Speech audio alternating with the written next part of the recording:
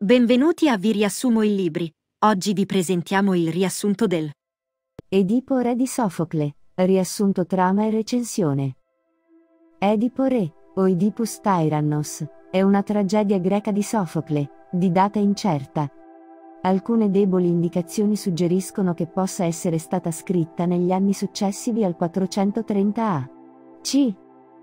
La tetralogia di cui faceva parte si ritiene abbia ottenuto soltanto il secondo posto nella competizione drammatica.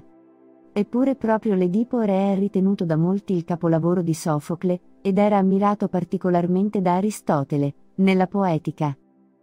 Tratta quella parte della storia di Edipo in cui è re di Tebe e marito di Giocasta.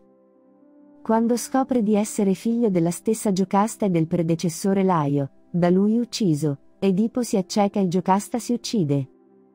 All'inizio del dramma Edipo apprende dall'oracolo del fico che la pestilenza abbattutasi sulla città è dovuta alla presenza degli assassini del re Laio.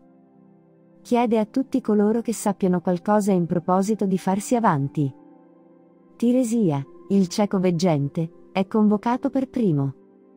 Egli conosce la verità ma in un primo momento rifiuta di rivelarla. Accusato da Edipo di complottare con Creonte, fratello di Giocasta, contro di lui, dice infine la verità. Ma essa pare troppo assurda perché Edipo possa accettarla come vera. Edipo si rivolge quindi a Creonte, accusandolo di volerlo spodestare. Egli è profondamente turbato dalla descrizione, fatta da Giocasta, della scena della morte di Laio e del suo seguito, che coincidono con le circostanze in cui Edipo a sua volta aveva ucciso un uomo. Pare ora che gli venga chiarito un punto. Un messaggero viene da Corinto per annunciare la morte del re Polibo e la designazione. Break, time uguale 0,5 secondi barra di Edipo alla successione, ed egli, temendo ancora di poter sposare la propria madre in adempimento dell'oracolo, esprime riluttanza a tornare in quella città. Ma il messaggero rivela in seguito come Edipo non sia in realtà il figlio di Polibo.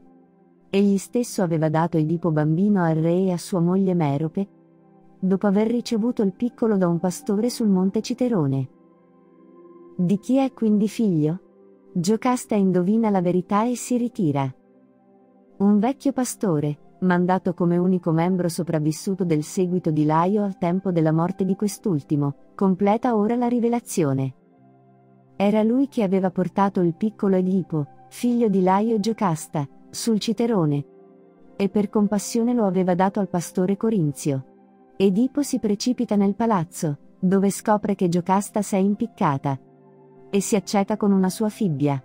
Creonte assume il governo ed Edipo, benché supplichi di essere mandato via dalla città, rimane a Tebe. Grazie per essere arrivati fin qui se vi è piaciuto il riassunto del libro. Non dimenticate di lasciarci un like e di commentare la vostra parte preferita.